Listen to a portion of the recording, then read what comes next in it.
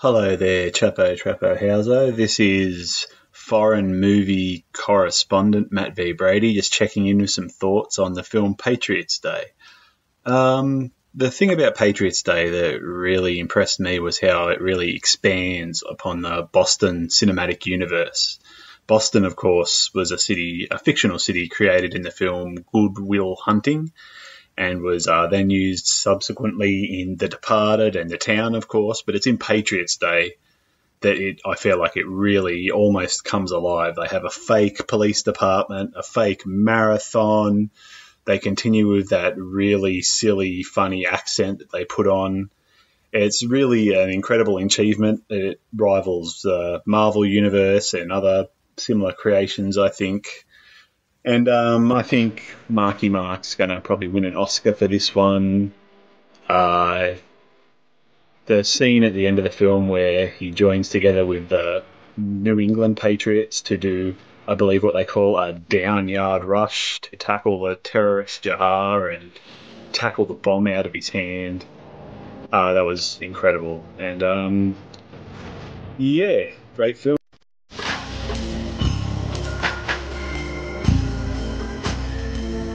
Start going. Hello, everybody.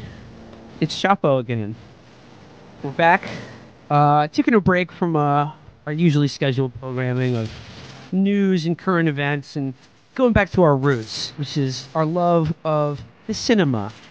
Of course, there is a news hook for the film that we're going to talk about today, and that, of course, is this past weekend's Super Bowl, the big game that we all know and love, where Boston and their New England Patriots managed to win again, uplift the nation's spirits, Ugh. and give me an ulcer without even uh, intending to. Yeah, it was really something to watch because you could see people coalescing around the narrative of wouldn't it be nice if this white supremacist team full of Trump supporters got its ass kicked by a town from the blackest city in America, but uh oh, it fell apart. Everyone was like, "Oh, I don't really believe in it. It's just it would be fun." But then they kicked, started winning. The Falcons started winning, and everyone was like, "Oh my God, here's a little moment of catharsis I could have in my life. Here's a little thing, a little victory, a little psychic boost, a little bit of." You know, just a chant, just a little belief in my head that maybe the bad guys don't always win, and then no, fuck you, they always win.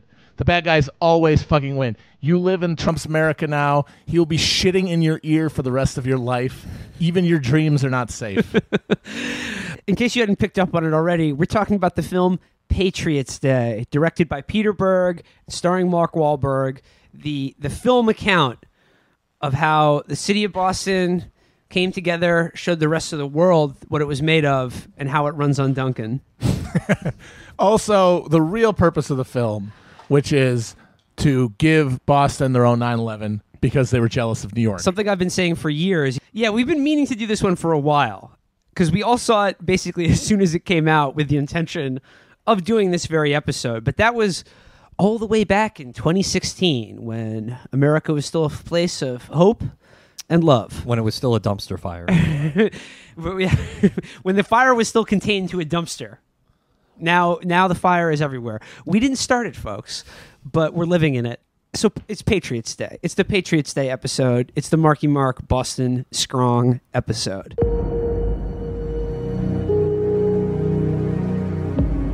We've got to decide who's running this, and we have to decide quickly. It's terrorism. We'll take it. And let's get an evidence grid started right over there.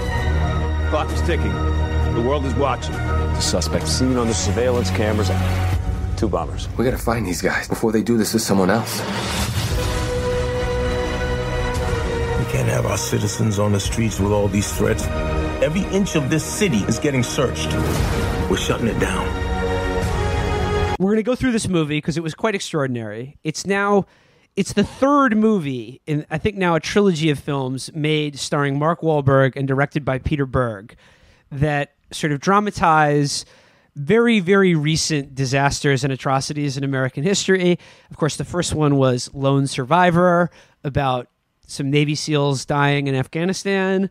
Uh, the second, of course, which came out also very recently, Deepwater Horizon about um, oil spill in the Gulf, and now bringing it all back full circle to Mark Wahlberg's hometown of Boston and the Boston Marathon bombing. Now, it, it is really the perfect one because, I mean, they had Marky Mark playing like Texas shit kickers in those first two movies. Yeah. And it's just like, no, he, he has one location. He has one setting. He's one of those. He's one of those deep sea fish. When you pull them up, they explode. You got to keep them in the in the Boston metro area. So we're gonna we're gonna we're gonna relive the the film experience and uh and, and the tragedy of the Boston Marathon bombing in general.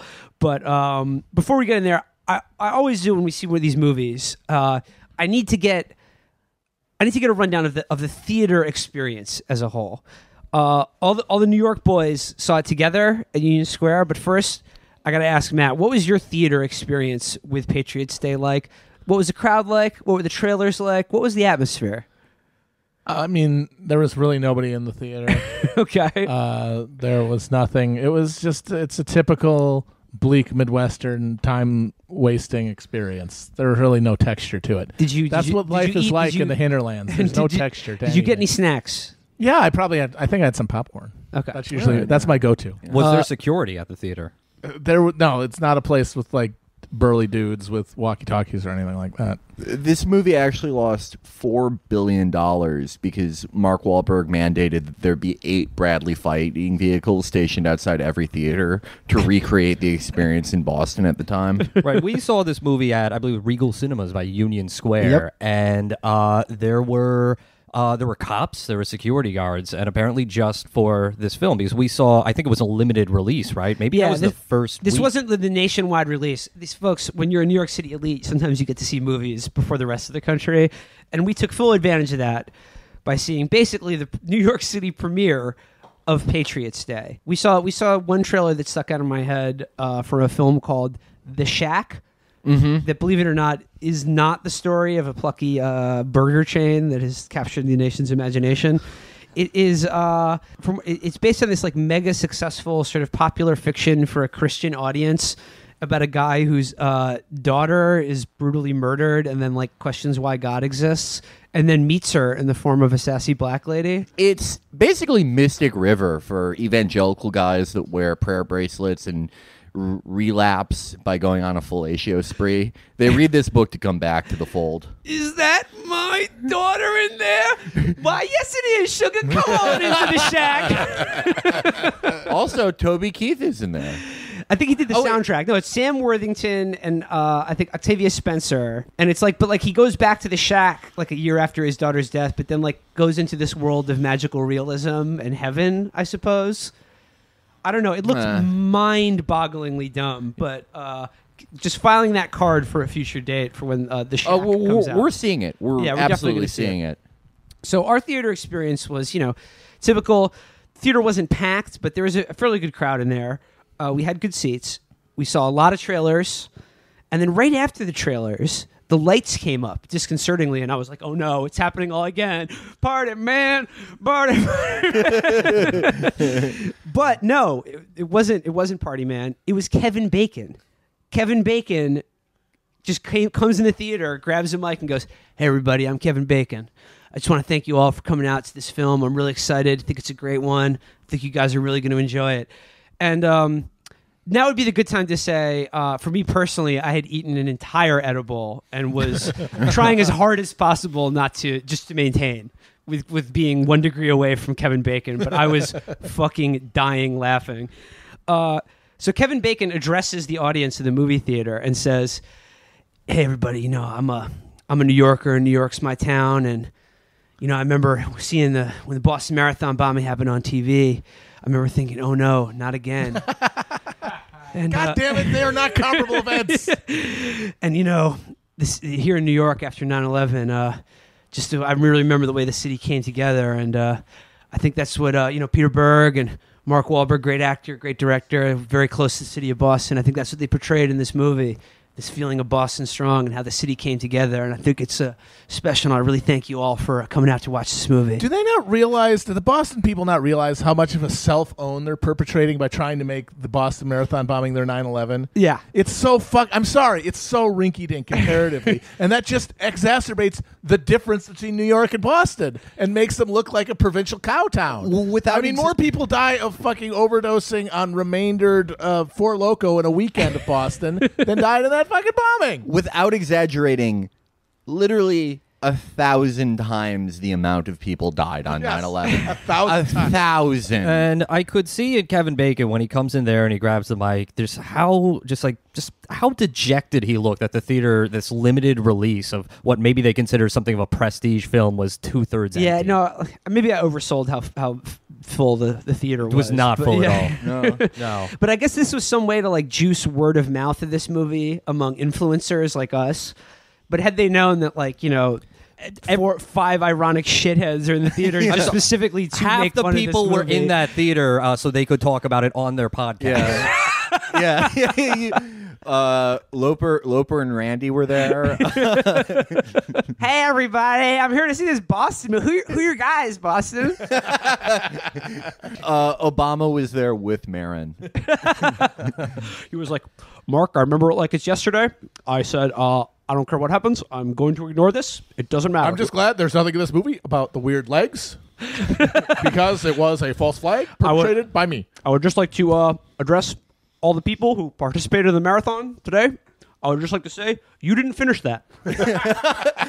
Um, I did do Sandy Hook. I did do Boston. So yeah, that was our I, I think rather unique uh, movie theater experience for this, where we actually got to be addressed by one of the stars of the film himself to come out and you know big it up.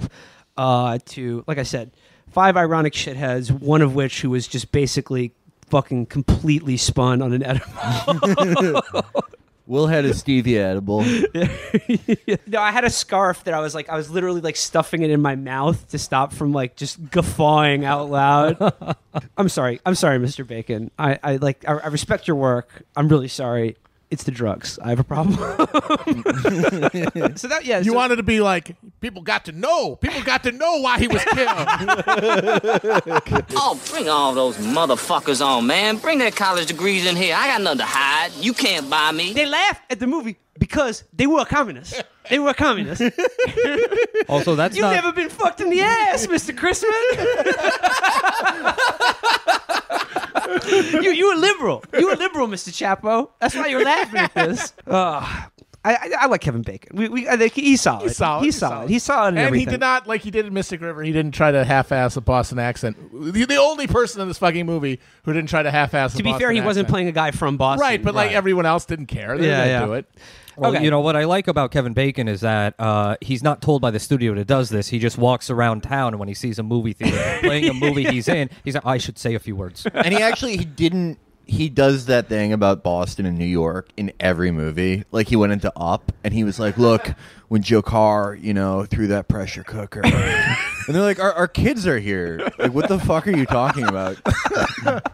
So that's the, that's the, the preamble to our, our, our, our wonderful movie theater experience, lo these many months ago. But okay, the film the film starts. And I well, the, the I think what's really poignant and interesting is that the first image we see is an epigram on the screen. It says, "Marathon clock looked like it was at 4:09 when the first explosion happened. Elite's long gone. Triers then. Big hearts then." the movie the movie actually follows Chris Jones on his journey through a bottle full of bourbon, and a page full of words, and a heart full of spite, but just enough goddamn energy to make it through the day and tell the fucking truth. Writing was a woman, and I was gonna fuck her. For anyone not familiar, uh, uh, Esquire writer and uh, bourbon bastard extraordinaire Chris Jones had an amazing tweet about the marathon bombing that I just did. That's not actually in the movie. It was a joke. where the movie actually does open up. It opens up on Mark Wahlberg playing a Boston uh, police detective. Cameo racism. Uh, yeah, he, Mark Wahlberg plays a Boston police uh, detective. The film opens the the night before the marathon.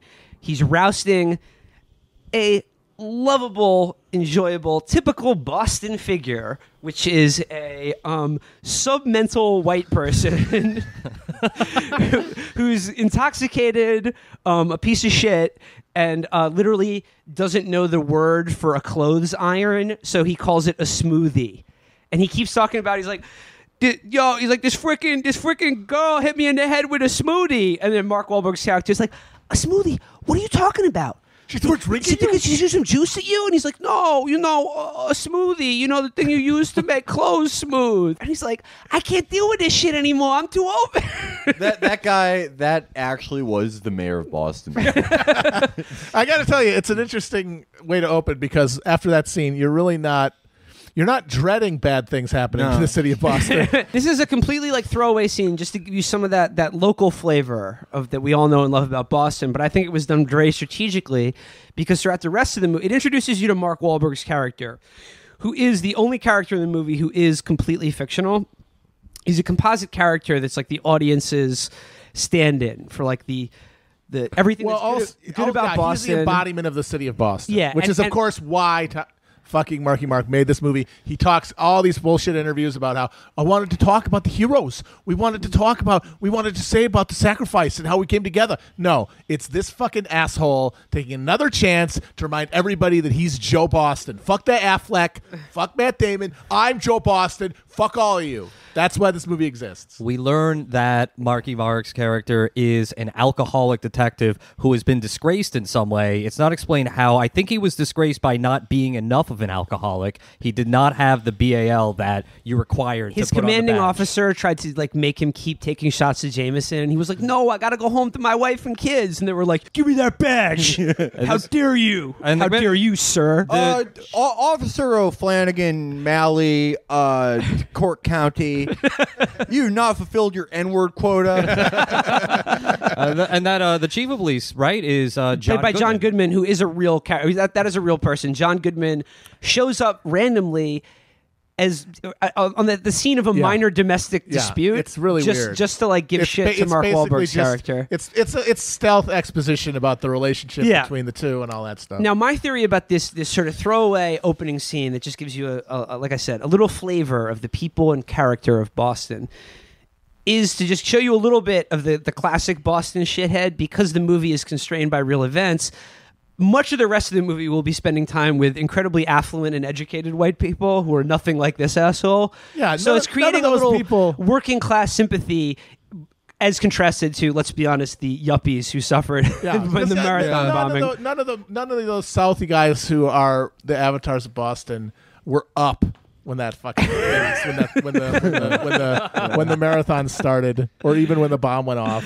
Yeah. The, the marathon is the big sporting event for the Yuppies, but the sporting event for Southie the day before the slur tournament.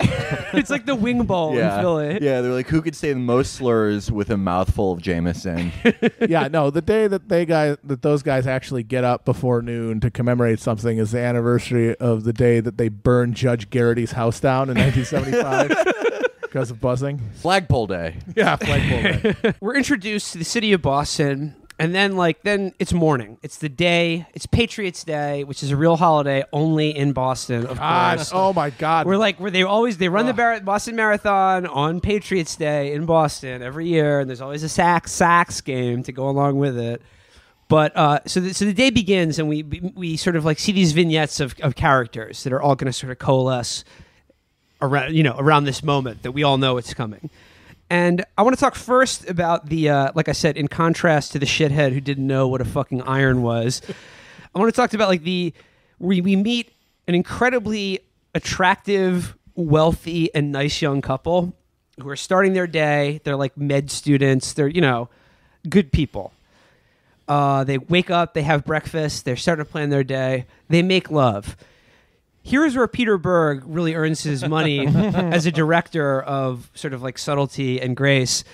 Is he uses a little something called dramatic foreshadowing by taking a several incredibly gratuitous and lingering shots of this nice young couple's legs and feet While they're in the bed, yeah. yeah. While they're while they're like, you know, in a postcoital embrace, he just the camera just slowly pans down to their beautiful intertwined legs and feet. Intact, non blown off legs. and as Matt said, only Quentin Tarantino has put more legs and feet in a motion picture than Yep. Peter Berg does in the first half an hour of this Yep. movie. But it's not sexual. It's just, hey, you ever notice how much you love your feet? you, you, You ever notice how useful these things Yeah. are? You, re- you rely on them every day, and you take them for granted. Maybe you shouldn't. That that's one avenue. Then we have uh, we meet a few other characters, including um, a uh, like a, a Chinese immigrant who will also come into play later. Um, we meet other members of the Boston Police Department. We meet uh, Mark Wahlberg's family. Uh, his wife is played by Michelle Monaghan, who I think as we were preparing for this, I had the thought, imagine having her career now. I mean, no knock on her, but she plays some asshole's wife in literally every movie and thing that she's in now. So I mean, that's the fate of a lot of actresses. Sadly, It's a it's a shame, She's yeah. like one of the top asshole's wife yeah, actresses going. and she's like, "Honey, don't don't forget to take your shot of Jameson Yeah, before you yeah. leave today." and he's like, "Honey, I know my leg hurts. I have to drink." Don't forget uh, your baggie of weed to drop on the guys in Roxbury. You have emotions to suppress about your abusive father today. so like the plot is like as we've alluded to, uh, Mark Wahlberg has been sort of knocked back. He has to do some bullshit detail, which includes like just putting on a regular cop's uniform like an asshole with like the reflective vest and like doing security at the finish line of the marathon with all the VIPs, where everyone, every politician is going to make fun of him and be like. "Ni- Nice vest. You look like you look you look gay. and he's like, "Come on, I, it's one last thing I gotta do is look gay for the mayor." I hope you guys are enjoying my Boston accent. By Yeah, the way, I'm, was I'm going to be doing it a lot Yeah. throughout well, the- that, this that was- episode. that I mean, you were doing the New York guy, right? 'Cause that's we- what you yeah, sounded like. Yeah, yeah. I, Every East Coast shithead basically sounds the same. um, so then we also meet, you know, the heroes of the movie. um, couple of plucky cou- young couple brothers of pluck- from the plucky Caucasus. young brothers. Another another thread I'd like to, th- to bring in here now about our movie theater experience in general. Okay, the guys that got to play the Tsarnaevs in this movie, I thought were actually really good. Oh, yeah. I think they, They did a did a really, good I think they did a job, good yeah, job yeah. of portraying them and like the dynamic between the genuinely psychopathic older brother and the sort of like idiot stoner who just sort of goes along to Right. get along because he's enthralled to a more powerful will. Right. That's the Klebold Harris dynamic, Yeah. kind of. Yeah. Um, that being said, the two actors that they got to play them, if you put them both into the Brundlefly teleporter, Felix would walk out. like, like Felix looked exactly like the third Tsarnaev brother, and I was so afraid. Like, I think you went up and got to go to the bathroom at one point, and I started to get worried you had been like detained outside. that moment when you see a movie and you look like the villain in the movie. uh, Well, I, I do. th- I, it is amazing that the guy they the guy who played Jokar, he's he's very good. He does that like affectless shithead millennial very well. But uh, he's like way less attractive than the actual Jokar. yeah, the real Joker is really hot. It's like you look at him and you're like, that's the ge- best looking guy they could get to play him. No wonder there's a million tweens who want him out of jail. That guy's a fucking. He's gorgeous. I mean, There was one really good line actually in that early that first scene with them where like uh um Tamerlan said something like are you ready? You ready to do this? Like to, to, like strike a blow against the fornicators or whatever? And he was just like, I don't know, man. I'm a fornicator. And he was like, Shut up. It's not funny. uh, you Joker, we have to pray. Uh, I need a safe space.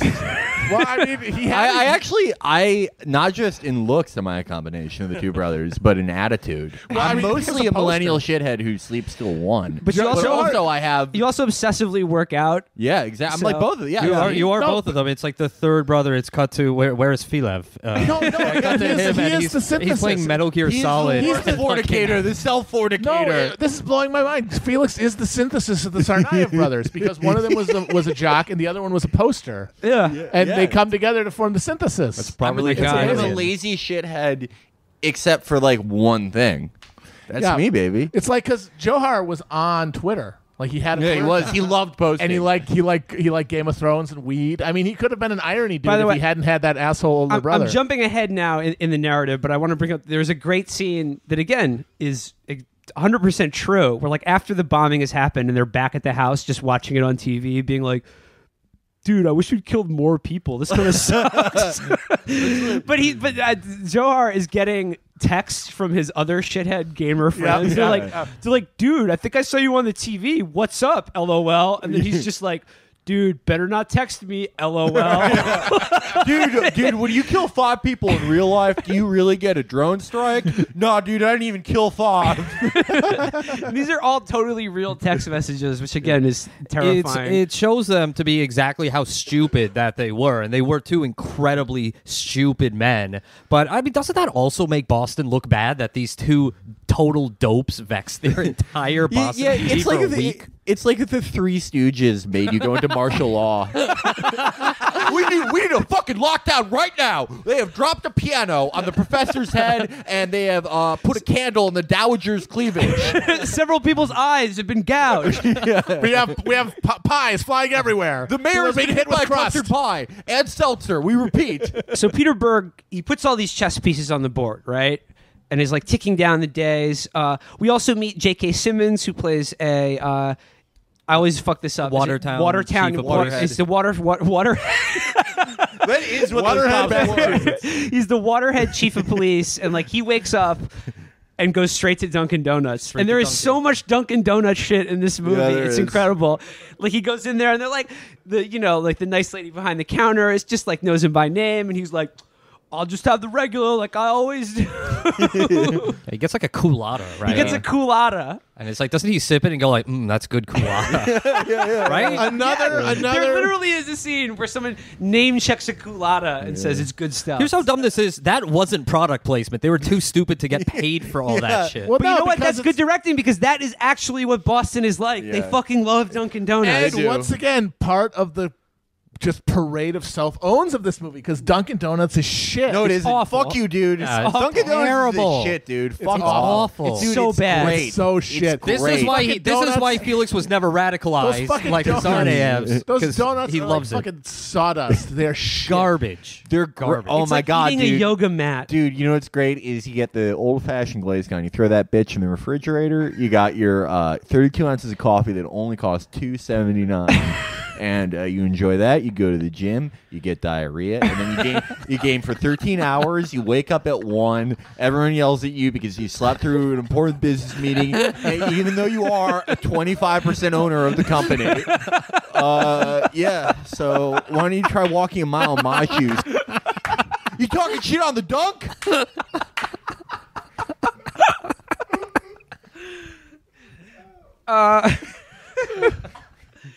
So, so anyway, eventually Jokar and Tamerlan uh, drop off their backpacks at the at finish line. They go off. We all know what happens at the finish line, and then it's just like everything's like terrorism here in America on the street. People are screaming. They like they don't know what's going on, but they know that it's happened again. It's happened again, and Mark Wahlberg will be there at every step of the investigation. because he is the only man in Boston who knows anything about the city. Yeah, of that was Boston. that was okay, the best now part. we need to get okay. We need to get to what I think is, I think the crowning achievement of this movie, the best scene in the movie. Okay, the bombings happened. Okay, the FBI has been taken over the investigation, headed by Kevin Bacon. The city of Boston, they're like, we're rolling out everything. Like it's all hands on deck. They have this huge like airplane hangar or warehouse that they create like the FBI command center in. They set up all the fucking computers. They have a whole staff to like break down all the images and security camera footage of like from every angle of the Boston Marathon to see to find these perpetrators who are still at large apparently. They hit it they hit a brick wall. They hit a dead end. What do they do? They invite in Mark Wahlberg's completely fictional character to help them recreate the scene of the crime. What happened was they took all the evidence from the scene, marked in bags, and then they drew a grid that's supposed to represent the finish line of the bombing. And they strewn they threw all that shit out there, and then Which they, I'm sure is real FBI procedure. I mean, yeah, that's why not? realistic. Uh, and then they're like scratching their heads, going, what, "What's in what's in this square? What is that? What could be on this street in downtown Boston? That- we need a real local. They We call they who call Mark knows." Wahlberg's character in the middle of the night, and they're like, "We need you to come in," and he's like, "Anything for the city of Boston." and he comes in, and they're like, "You were on the scene." You know Boston. We need your help. And he literally goes into like he's like walking through the recreated crime scene, and then literally goes into like Boston shithead bullet time to just sort of like he sees the ones and zeros, and using his knowledge of just being a Boston shithead, he like he knows where all the security cameras are. He's like.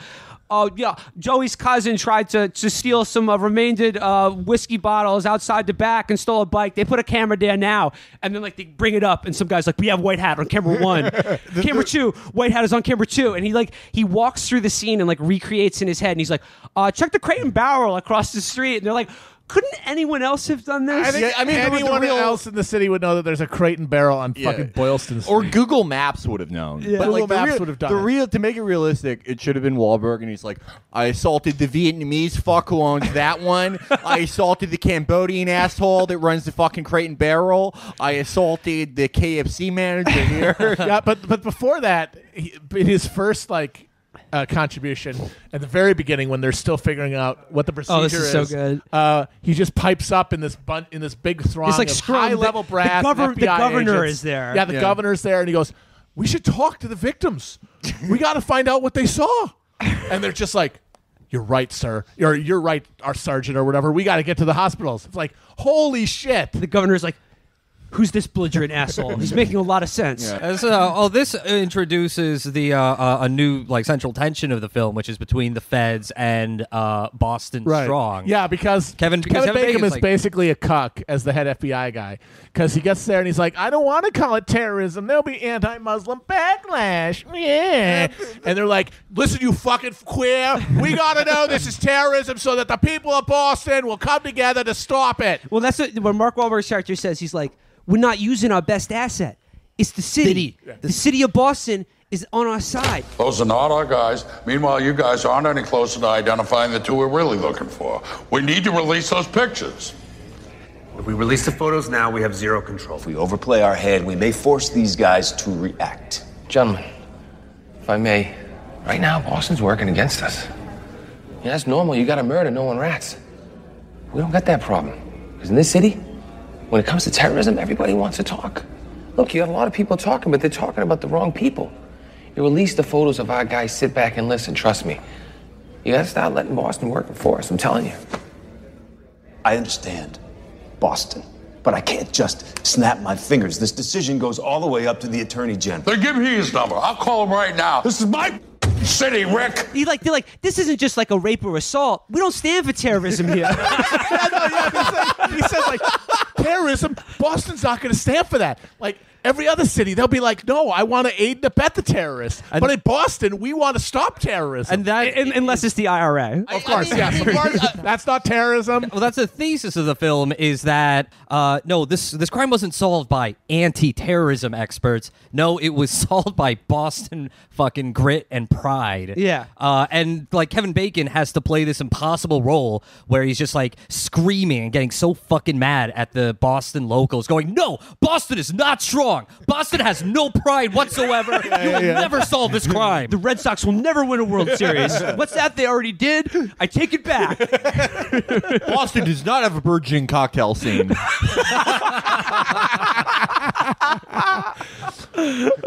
Actually, let's let, back to the Super Bowl. Can we talk for a second about what the real Boston's police department did on game Yeah, day? yeah, hell it was dude. fucking incredible. Again, this is these are the people being valorized by this movie. But the Boston Police Department's official Twitter account tweeted after the game on Sunday, Commissioner Goodell, when you come at you know TB twelve, Tom Brady twelve.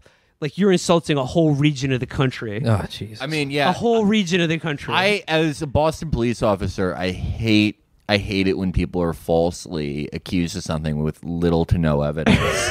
it's my least favorite thing. Boston Police Department's still angry about Deflategate. Roger Goodell worse than the Tsarnaevs, in my opinion. Actually, the number of people he's probably killed through negligence, I, Oh, yeah, I think way he's probably killed way more than the Oh, Tsarnaevs. absolutely. Actually, Holy shit, absolutely higher death count right there. um, okay, so like the investigation is in full swing, and I thought like actually.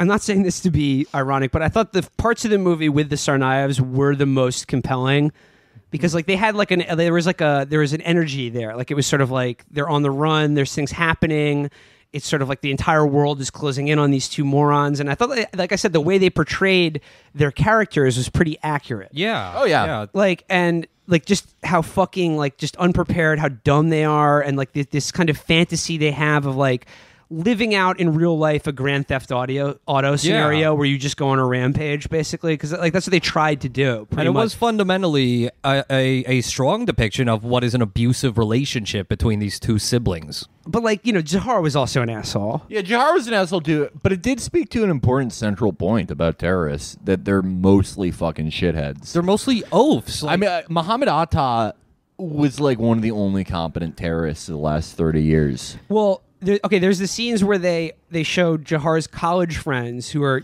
idiot stoner gamers, and they're like, "Dude, you see this shit on the news? It- it- doesn't that look a lot like our friend?"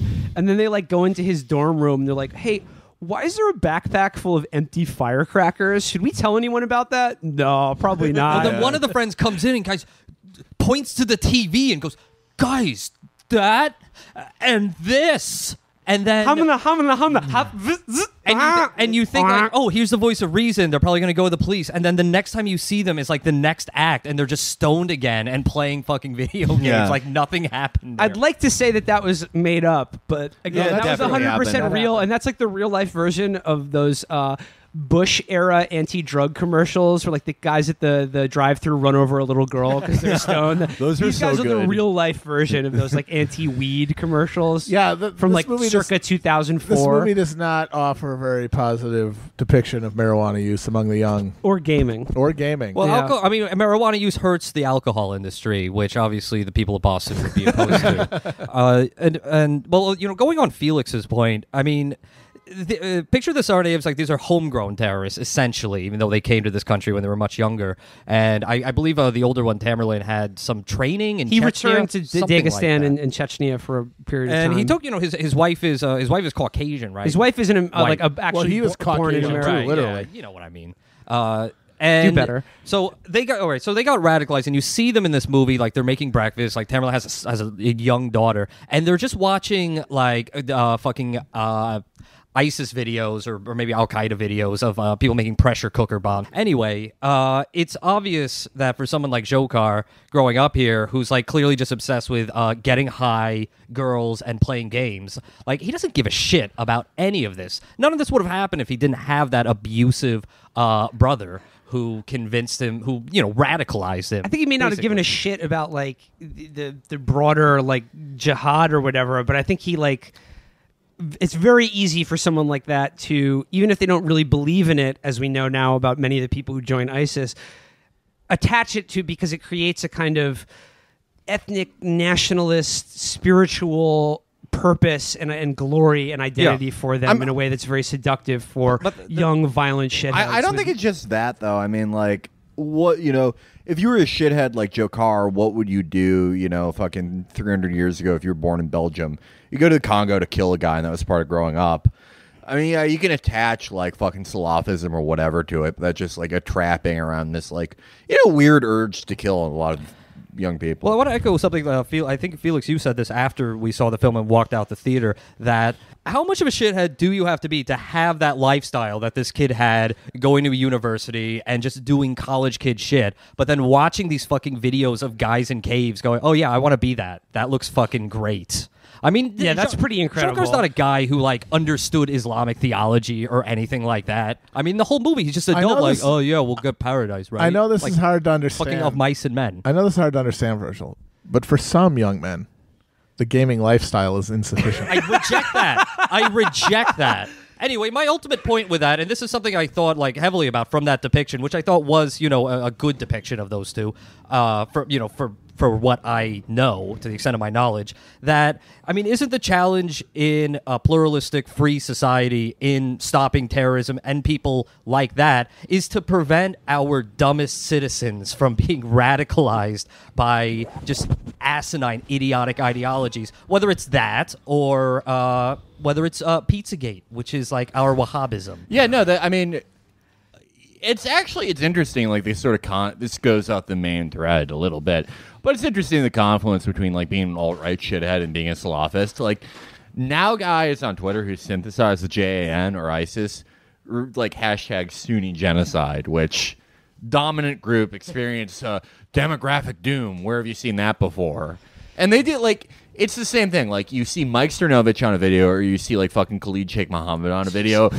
why would either? Why would you look at either of those guys and go, "That's cool. I want to be that." Baffling. Unless you Well, were totally I- I- fucked up. Actually, the best scene in the movie is after they've kidnapped this young Chinese immigrant named Dun Meng.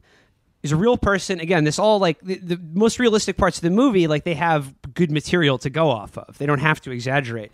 They carjack this guy like as they're on the run that night, and like the whole fucking like there's a nationwide manhunt for them, and they carjack this poor dude and there's a scene where like they're talking to him in the car and they're they're listening to news reports and like the news is just like in what's being called like the worst domestic terrorist attack since 9-11 and then fucking tamerlan is like can you believe this shit? To his hostage is like can you believe this shit man? The way they lie to you? The fucking government did 9-11 and he was just like you, you don't you know that right? And he was like yes yeah I, I do.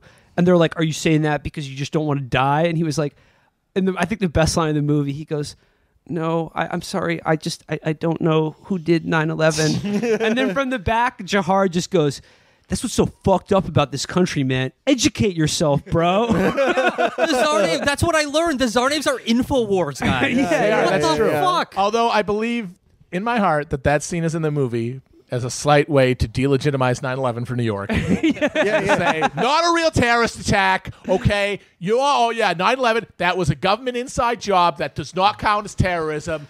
Boston bombing terrorism. Number one terrorism. but like, I so like, Tamerlan, and again, th- this is actually true. He said to them, the government did 9 11 to make people attack Muslims or think real Muslims do that. So, in his mind, literally after blowing up a bunch of people at like a crowded public event, is just like, here's what I'm going to do in response to that.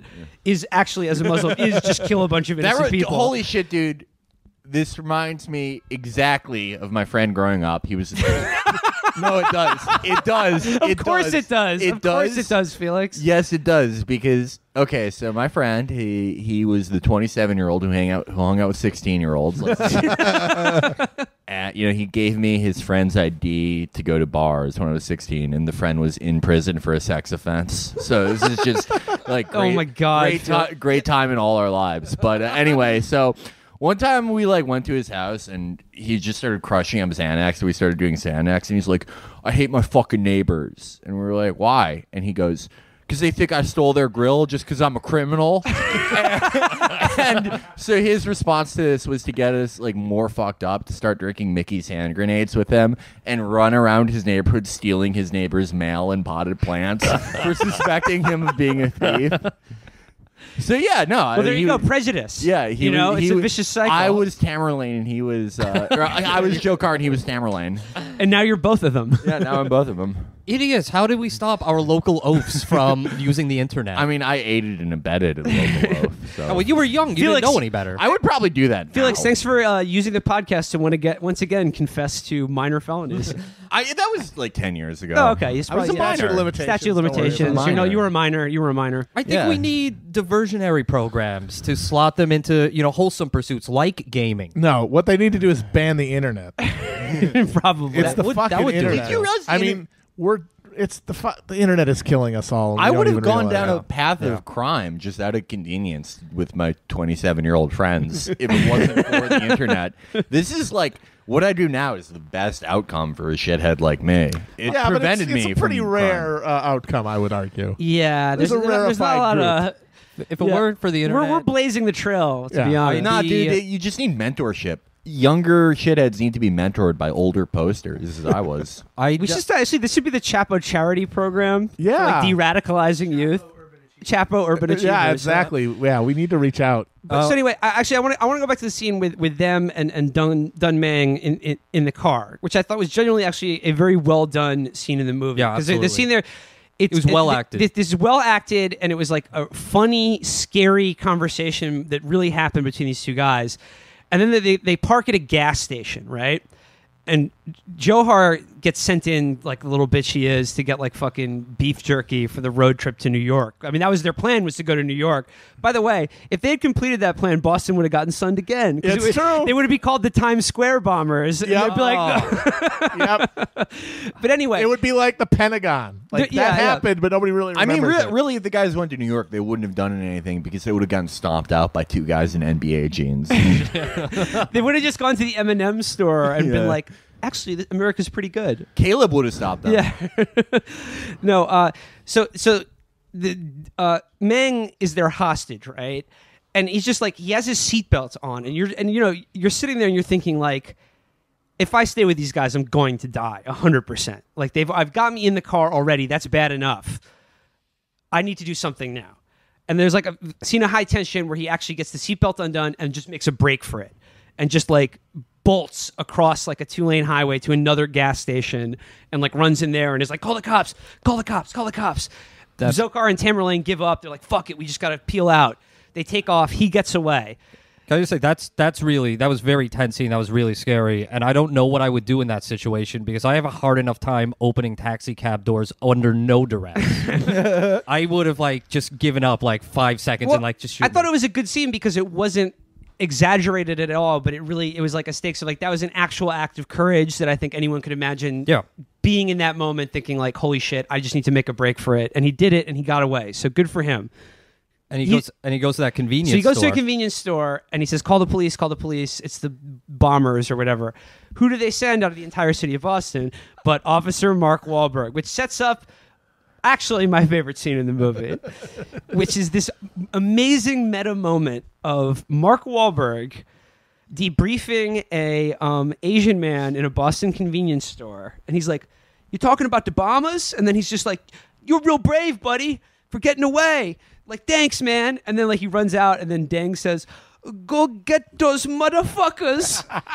This was but this is this point in the, the this is the point in the movie where, like I said, it's this meta scene of Mark Wahlberg uh, sort of hassling an Asian man in a Boston convenience store, and Felix just turns to me and goes, "He's gonna take that guy's eye too." And again, I fucking lost. The- well, it. you re- you realize Marky Mark did this movie for community service, right? yeah, yeah. he's Uh, trying to get that expunged from his record. Yeah, he has to be nice to Asian people on film uh, for the next five films. Well, that's why he's in those Transformers movies now. Yeah. They're all taking place in China. hmm So just a, a nice bit of meta Boston Marky Mark uh, moment right there. Um, of course, if you're not familiar, he did blind a Vietnamese man uh, for no reason as an asshole teenager. And he's trying to get it expunged from his record so he can open up Wahlburgers in different states because technically he still has a felony. He was uh, convinced to do that by that older guy, Felix. yeah, yeah, yeah. That guy. They my- accused me of blinding him. All right, I'll show him. Yeah. that guy just has radicalized everybody.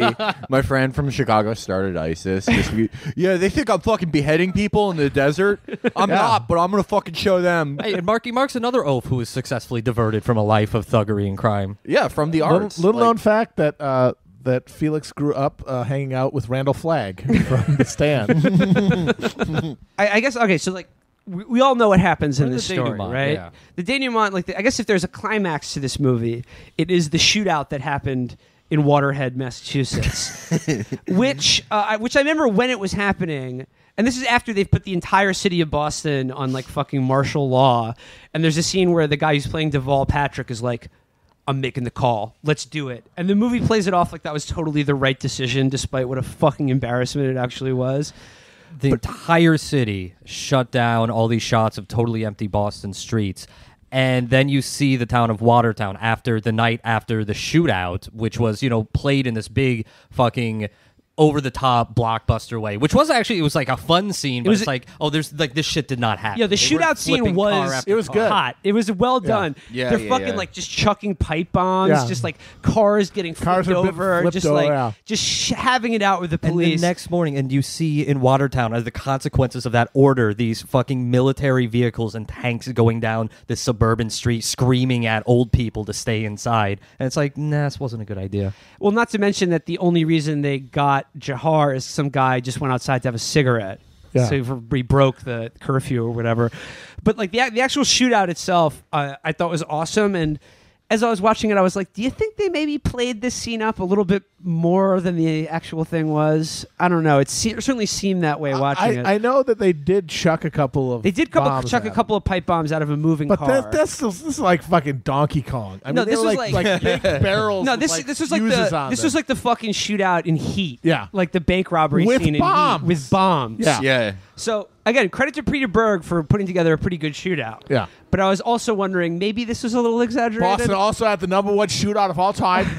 all time. Fuck you, okay, Corral. Now, Boston shootout, number one shootout all time. Now, I thought that so the next part it is the manhunt and it is the the tanks in the streets, and I actually thought the movie was critical of it based on its depiction of it because any reasonable observer looks at that and goes this is this is awful this is america this is a complete overreaction uh and uh, I, I want to talk for a second. Like simultaneous to this, you're seeing the FBI crisis center where the mayor's there, Tom Menino and Deval Patrick's there, and I guess the, uh, I guess it's critical of Patrick, right? Because he was like this indecisive man. Well, he's a Democrat. Yeah, he's a Democrat. He's, he's a liberal. Uh, he wasn't Boston strong. No. And uh, but uh, uh, He was like a mini Obama. but this is by this time they've ID'd him and they find the wife. They they dr- they Oh, call right, in right. Tamerlan's wife. Yeah, Tamerlan's wife is an interesting character in this movie because she she yeah the FBI they they bring her in after he's been killed, and they're like they they're putting the heat they're turning the heat all the way up on her, and the movie actually I think not so subtly implies that she was the mastermind behind all of this. Perhaps that It's- was the accusation that they made. It's weird. And there's a scene where they bring in what you think is like a Muslim FBI lady to like be her interrogator, This played a- by Khandi Alexander. Who like they they get her in the box and they bring in Khandi Alexander, who has like the headscarf and is going to relate to her as a fellow Muslim woman.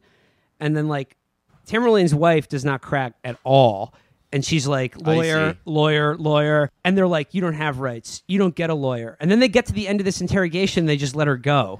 Yeah, they didn't do anything. They didn't. It should make you less afraid of the de- like both Trump winning and the fact that this like white lady who became a, became a Salafist like three months before the bombing, like just totally ran through their shit should make you never afraid of the deep state again. Yeah, this is the deep because like even uh, uh even Kevin Bacon's character, the FBI counterterrorism guy, has no idea who this is. It's like total CIA, the Muslim lady they deploy for these events. And my favorite part of it was when she was do- the interrogator was doing this Aaron Sorkin shit to it, like uh, to her, like, oh, you think that? You think you're going to uh you're you think you're going to go to heaven with your husband? Uh, well, I've got news for you. Have you read the Quran, ma'am? Yeah, yeah, yeah. no, it was the exact same thing as in the West Wing when he gets all the religious people in the room. Except this lady was so ride or die and had so much tawhid that she was like, "Nah, fuck you." And she was also a convert to Islam. the Yeah, she wife. was a convert. Well, there's nothing like the zeal of a convert. That's and, true. yeah, yeah, Zarqawi. and then they let her, and then they, then they let her go. And they let her go. Yeah, we can't touch She's her. She's still at large, by the way. Yeah, yeah. She's still free. I want to get to the, the the mini documentary at the end, but before we do, like I said, there's the big climax with the shootout or whatever. And there's one moment that I really like that we talked about after the movie, where it's just like in the middle of just like withering gunfire, like Watertown police officers, like they break out the M16s and they're just like spraying fire, like in cover, laying down cover fire, and one of the officers just goes, "Welcome to Watertown," and it's just supposed to be this like woo moment or whatever. But once again, major cell phone because. The drama of the scene is that this rinky-dink police department is getting fucking owned by these like teenage assholes. And they, like, With- and they, they, they hear a bump and they unleash like 150 rounds into this boat. yeah. That, Like I a thought bunch I- of insane Barney Fifes with AK 47. That's what I thought was a very harrowing part of the scene. Is it's you, you have Dzhokhar, he's cowering in this boat, and they have you know all of this uh, like X-ray shit, right? And they can see what he's Oh. doing inside, and he's just there bleeding. Oh, oh, wait, wait, And they're- wait. Th- th- this is great. Jaharis, he's bleeding in a boat that he's just been like cowering in for like an entire night. There's 200 heavily armed There's a scene there where they they bring around him. everyone. And there's a scene that Peter Berg does where it's just like the, all the snipers are setting up at like uh, roofs and buildings across the street, and it's sort of like this shot where you see a rifle barrel come out of a window, and then you see another and another and another, and it's this like a row of windows and houses along the street with like ten FBI snipers all. And I'm like, do you think you brought enough guys? Do you think Think this is it. enough? Maybe. And then even there, we get another moment of insufferable Boston color where the FBI hostage rescue team comes in and all of the Boston people are supposed to leave, but there's this tough old Boston lady policeman with a gun. Watertown policeman. Water, and she's like, uh, a guy shows up. We, we'll take it from here, ma'am. And she's like, "Get the fuck out of here! This is my spot. I'm not going nowhere. Go Sox, go Pats."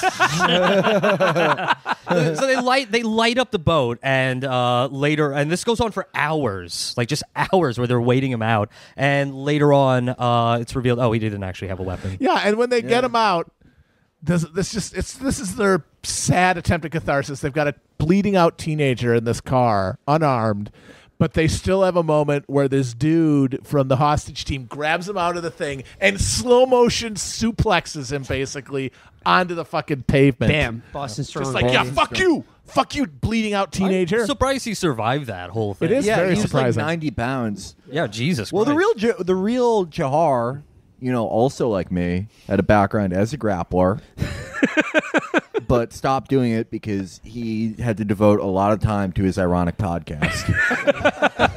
they also talked about his wrestling or like his boxing career well, no, okay, Tamerlan was a was a boxer. boxer. Was a boxer. Apparently, a very good amateur boxer. Yeah, he was really too. good. He was really good. um, there's a, there's a scene after the shootout and before the f- kind of final uh, climax of getting Jahar in the in the boat, where there's uh, sort of light piano and you get shots of the victims recovering, and then Wahlberg goes on this teary-eyed, uh, reflective thing about you know if we find these guys, it's you know that doesn't matter. It doesn't matter if we find them now. You know we got people out there. It's really about them. It's really about the victims. I, you know revenge. What does it really get you? And it's just kind of this whole sort of philosophical zooming out that he's doing. What are we gonna do? We hunt them down, catch them, kill them, all that. They're still gonna get us. No way it can ever be entirely preventable.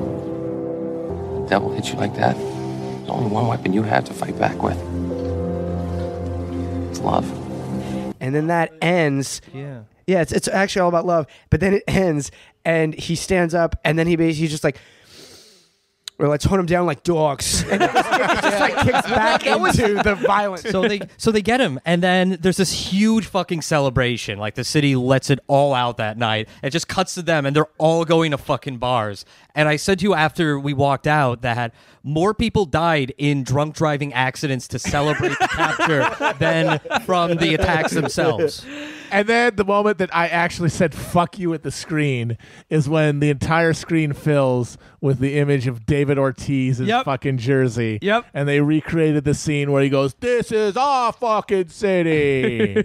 hey, David Ortiz, now an Italian guy from New York. It's you fucking assholes! they can't Put let the anything Red Sox outside of go. the context context of sports. Yeah. Anything. I mean.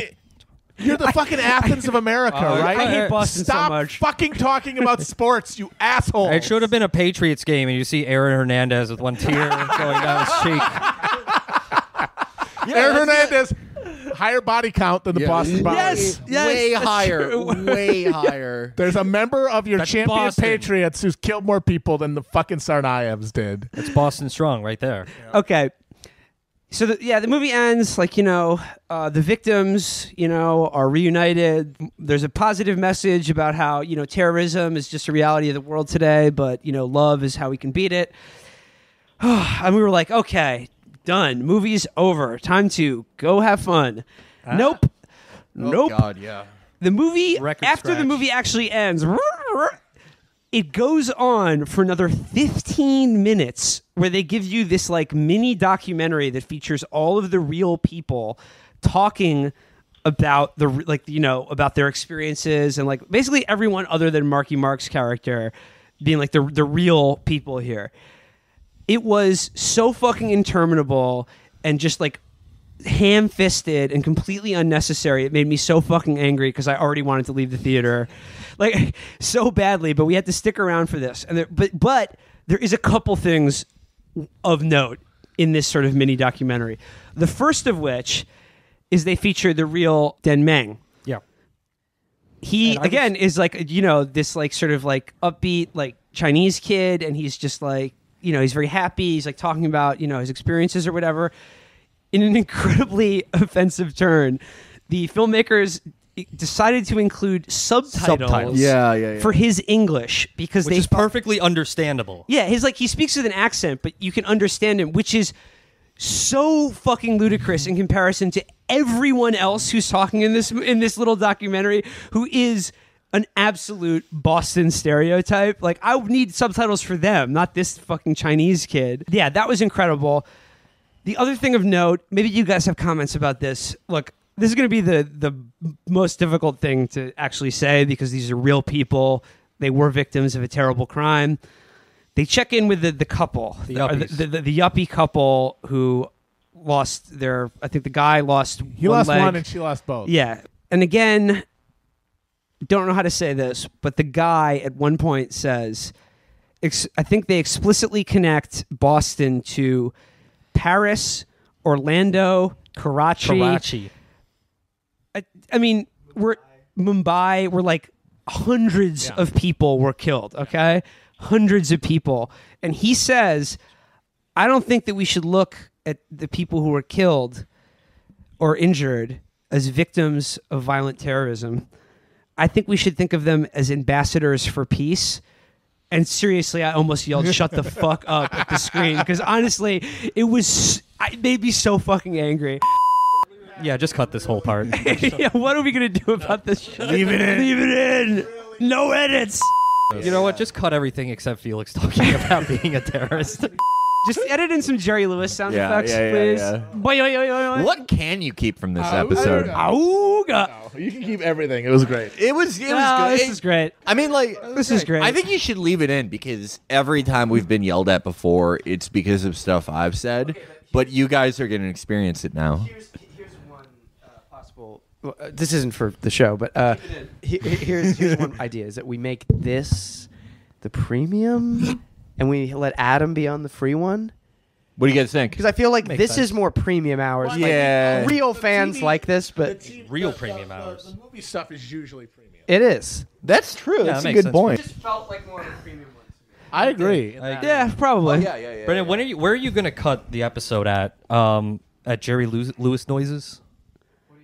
Well, I think we can. What's let, the end us point? wrap it up, guys. All right, we, wrap we, up. we can, Did we we, wrap? we can put a capstone here. So that for us is the experience of Boston Strong, the movie, the the Mark Wahlberg story. Um, it was it was it was an experience. I'm I'm glad we got to, to see it all together. We got to share this experience With I Kevin we- Bacon. I think with with Kevin Bacon. I'm glad he wasn't there seeing us leaving the theater because if I had to look in his eye and shake his hand, it would have been awkward. But I would have um, said thank you for your service. to conclude, Dun, dun, everybody, dun. Boston, the city. It may be never happy. It may be never content. It may No. fluctuate. Sorry. Sorry. we can't use any of the end of this show, folks. Patriots Day, the movie. Let's put a ribbon on it. Go Sox. So, uh, sorry. Yeah, sorry, guys. this is what you paid for, bitches. this is what you paid for. Yeah, yeah, yeah. Okay, done and done. Bye. Love you guys. Bye. Cheaters. Oh, yeah, that's definitely.